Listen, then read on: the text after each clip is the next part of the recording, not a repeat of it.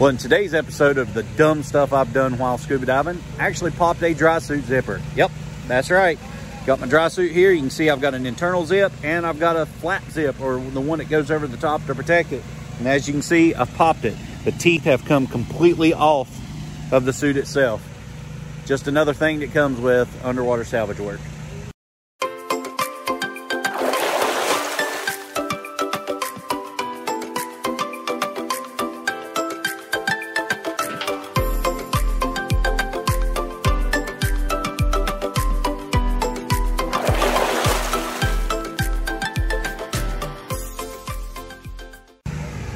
What's up guys, it's Bryan again from Lake Hickory Scuba Marina. If you are new to our channel, do me a huge favor. Hit this little subscribe button right here and ding that little bell as well. That way you guys are gonna be notified every time we upload new content.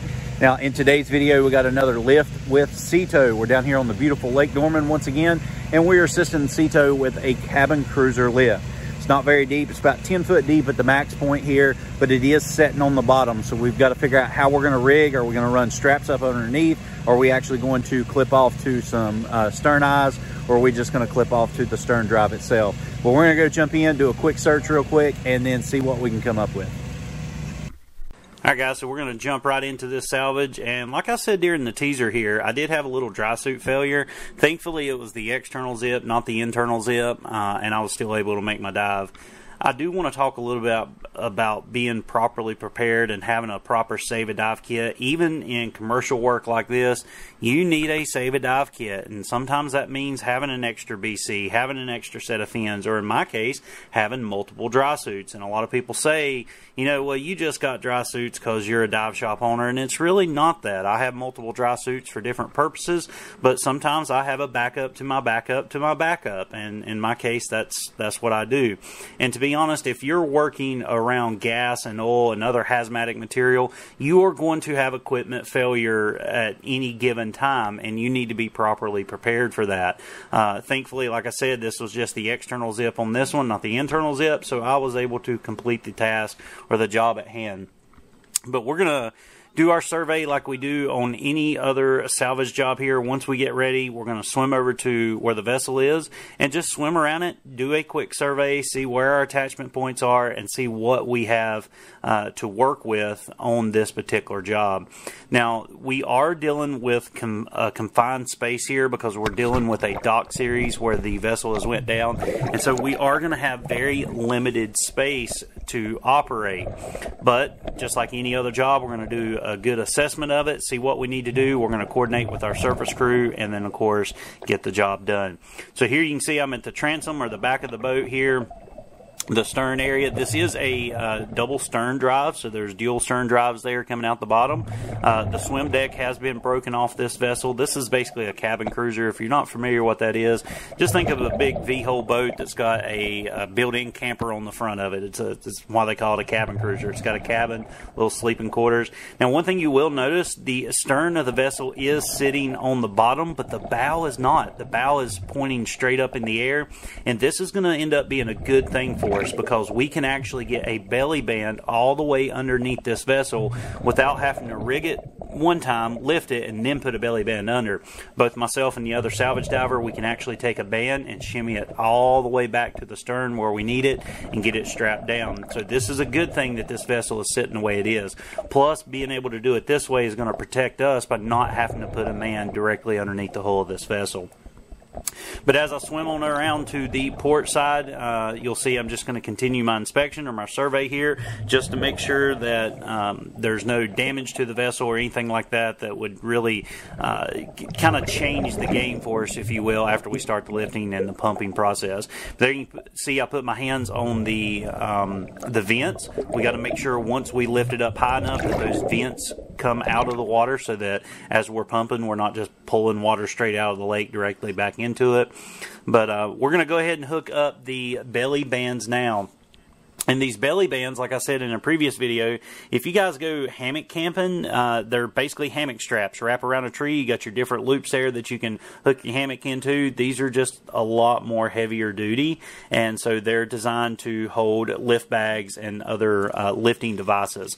So we're going to take these, and as you can see, one diver is going to be on the other side, I'm going to be on the starboard side, and we are just going to simply swim them all the way up underneath the hull of this vessel, and we're going to swim it all the way back to the stern. Now we're not going all the way to the very tip of the stern. We're actually going to come back about two to three feet because that's where we want most of the lift. We we actually need to get it underneath the engine compartment alone. So um, most of the time on these cabin cruiser or stern drives, your engine compartment is going to be about two to three foot uh, from the stern itself. So we're going to go ahead and kind of stop right there, and you'll see I'm not going all the way to the back. I'm going to stay up a little bit. Now, temporarily, I am just going to put the strap here because we are going to take uh, a ratchet strap to secure this so it does not move. And I'm going to go underneath the railing, uh, as you can see I'm doing there, and then run that ratchet strap all the way across to where the other diver is, and then secure it nice and tight so that we can um, secure our bags to it. But like I said, I'm just going to temporarily tie a knot here with just a, a rope that was on the vessel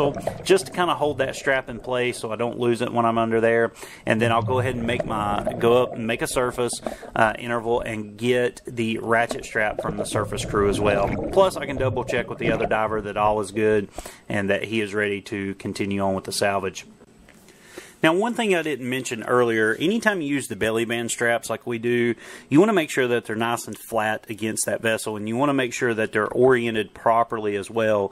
Um, the flat straps basically have loops about every two foot or so, and you want to make sure those loops are on the outside because those loops are going to be what you secure your lifting devices or your lift bags to. Um, and if you happen to have them on the inside, when you go to ratchet this strap down and make it tight, you're not going to have access to those loops. So you always want to make make sure that they're on the outside and that it's flat and that it's uh, secure. You don't want any twist in it, um, just so that you're not damaging anything and that you got the maximum strength of the straps itself. So now what I'm doing is just getting the ratchet strap in uh, working order. I'm going to make sure that all the um, entanglements are out of it, all the loops are out of it, and I just want to secure the belly band strap to the vessel. And this is where we're really concerned about the placement of where uh, our our straps are going to be. So once I have everything secure, before we tighten the ratchet strap down, we are going to make sure that it's in the proper position or where it needs to be on the vessel because we want all the lift to be directly above or directly below, if you will, the engine compartment of this vessel because that's going to be the heaviest part as well. Um, we did secure one lift bag. We just did a 1,000 pound lift bag on the front of the vessel on the bow, and that's not really meant for anything currently, basically meaning we're not going to be using that to lift this vessel up. The cool thing about cabin cruisers, and one things that make them very easy to lift, is all you really got to have out of the water is the stern and if you can get the stern high enough to where the cabin or the gunnels are out of the water, but the cabin is still in, the cabin will typically trap air into it. And as long as the windows and things are like that are shut, it'll hold that air in. And we can see that in this video alone. That's why the bow is kind of sticking up the way it is. It has trapped air in it. That means it's a waterproof tight seal. And as long as we can get the gunnels and the stern up out of the water, then of course we can lift it and start pumping that out. And the cabin, of course, will, will be fine. It, it, won't be taking on water. That is, of course, as long as all the windows and things like that are shut and all the portholes and all that. But we're going to go ahead and finish get this secured up here. And as you can see, I'm just taking my time. I'm not rushing. I'm getting the strap exactly where I need it to be um, to get the maximum amount of lift possible. And I'm securing it, making sure everything is nice and flat. And then we will go ahead and rig our lift bags uh, to that belly band as well. Now, when we put the lift bags. I've talked about this in the past as well. Anytime that you secure a lift bag, you need to get it as low as possible on this vessel. Basically, with the belly bands and the lift bags, we are creating a create or a cradle system. Uh, we're not just putting bags on this vessel and bringing it up. We're going to create a cradle system so that as it lifts up, we will have the maximum amount of lift. Uh, once lift bags come out of the out of the water, you you're going to lose every bit of lift that you got. And as the vessel comes out of the water, the vessel itself is actually going to become a lot heavier because it's not displacing as much water at that point. So you need the bags as low as possible. And there you can kind of see one of those loops there on the outside but we want to get these bags as low as possible to maximize the lift. And as you will notice later on during this video we have a very very tight limited space here uh, of room to work with. So these bags if they happen to overinflate on the side of this vessel it's going to actually lift the dock up with it as it comes. So we've got to be very strategic of where we place these bags but I'm going to go ahead and take one. The other diver's going to take one, and we're just going to take our time, get everything positioned where we need it. Um, and these 2,000 pound bags, we're actually going to use 4,000 pounds of lift to get this vessel up. But these 2,000 pound bags are a beast just for one person to work with. So we've really got to trust our surface crew up top that they can sit there and drain air out of them as we're pulling them down and kind of hold them in the position for us as well, just to make our jobs a little bit easier. Now, like any other time that we do this, uh, it's not pretty. Uh, a lot of times our visibility goes from, say, 10 foot to 0 foot almost instantaneously. So you've got to be very, very familiar with your equipment. When you're working with the anchor shackles that are attached to the bottom of these bags, you want to make sure that you don't lose the little bolt or the little carrier bolt that kind of secures it. You need to make sure that you understand how the bands work and that you can get to that lowest band possible and just take your time because if I was to drop a bolt here, then this bag would pretty much be rendered useless at that point. So I'm just taking my time, making sure everything gets nice and secure, making sure the bag's staying flat, making sure it's staying in position where it needs to be, and that I can secure it uh, once I've got it attached. Now that I've got it attached, just as a little bit of extra security measures here, I'm going to go ahead and tie off one of the D-rings. And what this does, this actually keeps the bag in position as we start to inflate it. Now, we typically use a compressor unit so the Sea-Tow, and that compressor unit has a manifold that can control multiple bags. And as you're lifting those bags from the surface, the bags can shift. So simply by securing it at the top, just one little small piece of rope's all it takes. By securing it there at the top, of course, we can make sure that bag does not shift as we go to lift it. Now that we've got everything secured, we've got our two lift bags on the back, we've got a lift bag on the front for the end of this salvage, if you will. We're going to go ahead and go ahead and start inflating it and lifting it. Now I want you to see here, I'm standing up on the dock now looking down. You can see the very tight space that we have to work with. I've got my other salvage diver, he's still on the stern of the vessel there, and he's just giving some uh, uh last minute pointers to, to Sea-Tow crew members and just letting them know how we got things rigged. But now you can start to see as these bags start to inflate, they are going to take up even more space inside this slip or inside this dock area, and we don't have much room to operate whatsoever.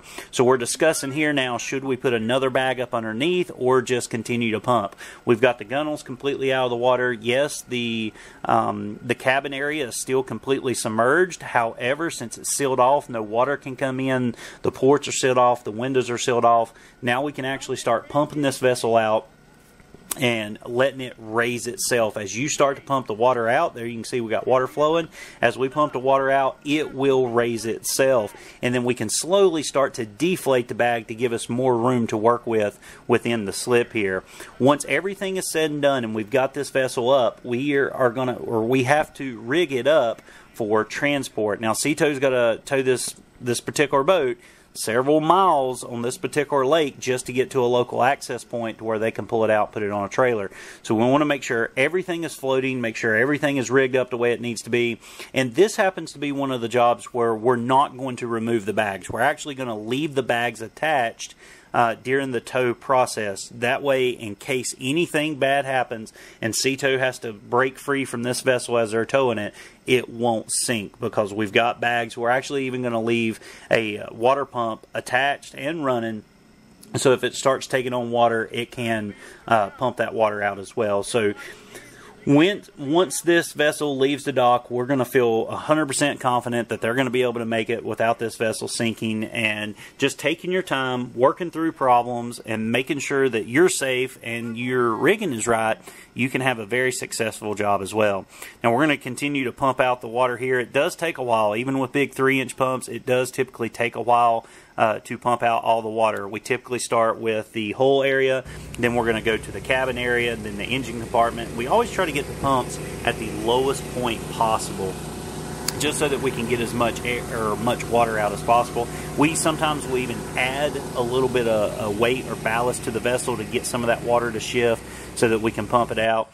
But now you can see the vessel is completely floating on its own. We have our bags completely deflated. There is no lift uh, picking this vessel up other than its own buoyancy. And we're just basically using Archimedes principle here, water displacement to float the vessel. We're going to go ahead and get it rigged up for tow and go ahead and get the water pump put in place. And once we pull it away from the dock, then we're going to reinflate these bags. There you can see the 1,000 we put on the front. That is just in case as he starts to tow the vessel, if it was to happen to take on water and sink, uh, we would, you know, still have a little bit of lift to hold it up so we wouldn't lose the vessel.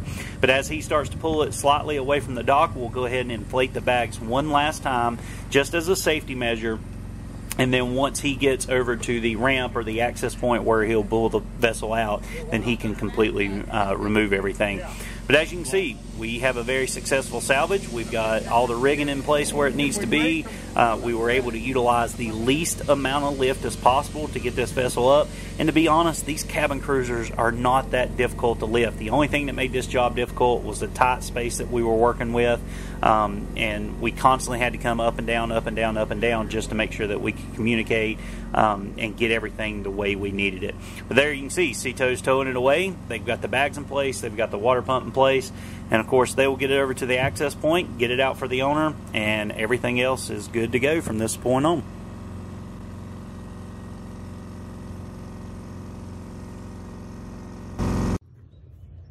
All right, guys, as you can see, another successful salvage. We really enjoy helping Sea-Tow out. Those guys treat us like gold, and we like to return the favor to them as well. But I noticed that a lot of you guys ask in our comment section about salvage work. How can you get started in it? Yes, anybody can do this with the right training, the right equipment, and the right mindset you can do this as well. You can be very successful and you can make some pretty decent money doing it as well.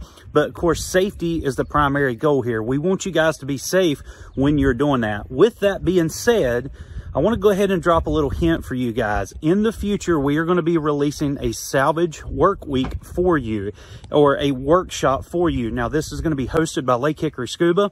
And basically, we're going to start with two times a year, we're going to bring people in and teach them how to do salvage work. Now, it is going to incorporate multiple specialty certifications through SSI as well. So you're going to get a lot of the training that I got growing up, and you're going to get the training that you need to do successful salvage work or just even basic search and recovery work as well.